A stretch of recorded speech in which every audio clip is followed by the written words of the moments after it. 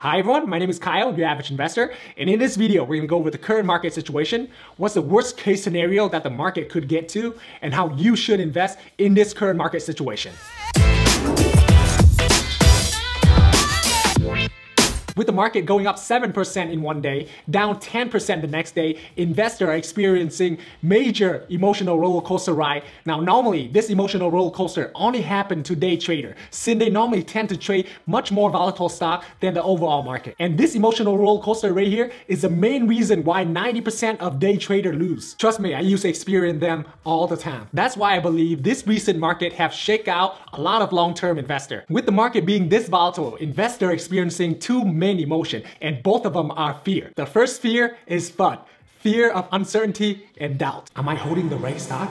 Why everything I buy keep dropping? The situation probably gonna get much worse. Should I sell now and get back in later? The second fear is fear of missing out. Google just went up by 5%. I better get back in before it bounces. Yes, though too many emotion can cause long-term investor to have short-minded. In my opinion, as a long-term investor, you should not be too optimistic where you think this is it, this is the bottom and go all in here because you believe the market will recover in a short amount of time. But also not super pessimist where you believe that the market will never recover from this. That will cause you never to pull trigger to invest in the market. For me, I consider myself right in the middle. I do open up my mind to listen to both sides of the extreme to see what they have to say and what their argument is. This way I can prepare for the worst and hope for the best. Now there's a lot of finance YouTuber believe that this is just a short-term thing when the coronavirus go away, we can bounce right back up to the all-time high within a couple months. Now I do not believe that will be the case and I do not want beginner investor to have false expectation where they start to go all in now and expect recovery within couple months. In my opinion, the coronavirus is only one domino. After that, a lot of people are gonna get laid off,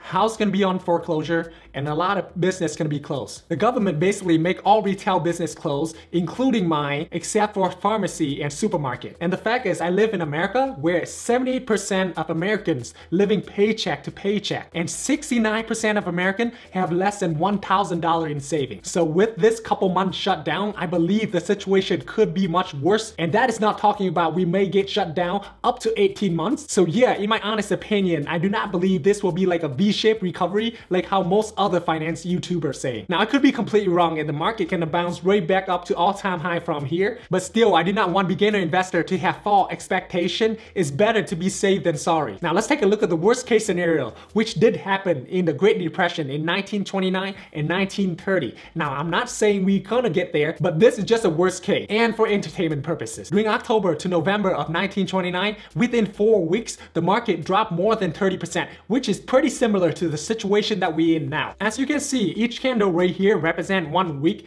and within four weeks, we dropped more than 30%. Within five weeks during October and November of 1929, the market dropped more than 44%. Even though the market was super volatile, during those five weeks in 1929, the market did not find its bottom until three years later, in June 1932. From the all-time high to the very bottom is the 86% loss. Now, 86% drawdown may not sound a lot. Okay, it does. Let's say the stock is $100, it went down by 40%. You think it's the bargain price, so you get in. At the price of $60, from 60 down to 14%, that is still 76% drawdown from 60. And most people do not expect that. And at that $18 price, which is a 40% pullback from the all-time high in 1929, market did not break out that level until 21 years later, which is the end of 1950. It is pretty scary to think about that situation that actually happened in the US Do you think most people live in those times expected that? Probably not. I don't expect our situation to be that bad, but I just want to throw out the worst situation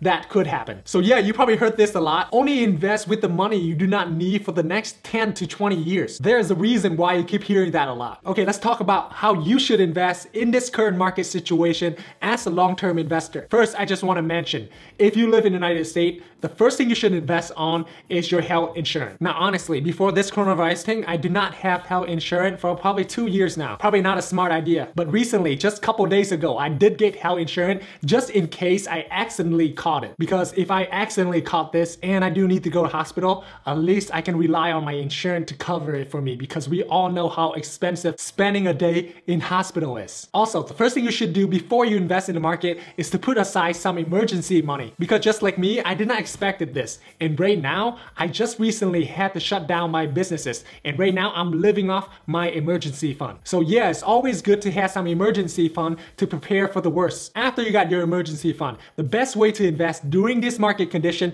for beginner is to invest in the ETF. Unless you know how to do research on the company on your own, I would not suggest you to individually picking stock because honestly, during this kind of time, the market actually tend to outperform individual stock. As you can see recently, the market only pulled back around 30%, but there are a ton of stock that pulled back 40 to 50%. So yeah, I would not suggest you to pick individual stock if you do not know what you're actually doing. After that, what you need to do is to set an automatic deposit into your broker account to make sure you consistently invest every weekly or monthly. This amount that you deposit in the broker account, make sure that money you would not need to touch for the next 10 to 20 years. If you consistently invest the same amount for the next 20 year, even if the market would not reach all-time high for the next 20 year, you still can come out way ahead. Also, by doing this, we'll eliminate the emotional roller coaster that I talk about in beginning of the video. Because doesn't matter if the stock go up or down, you can consistently invest the same amount. You will not have the anxiety to try to time the market. Also, this is the money that you will not need for next 10 to 20 years, so you do not have to consistently check up on the market to see how it's doing. I honestly believe by doing that, you will come out way ahead of most investors in this market. Now, all this is only for entertainment purposes, not a financial advice. That is all the information I have for you guys today.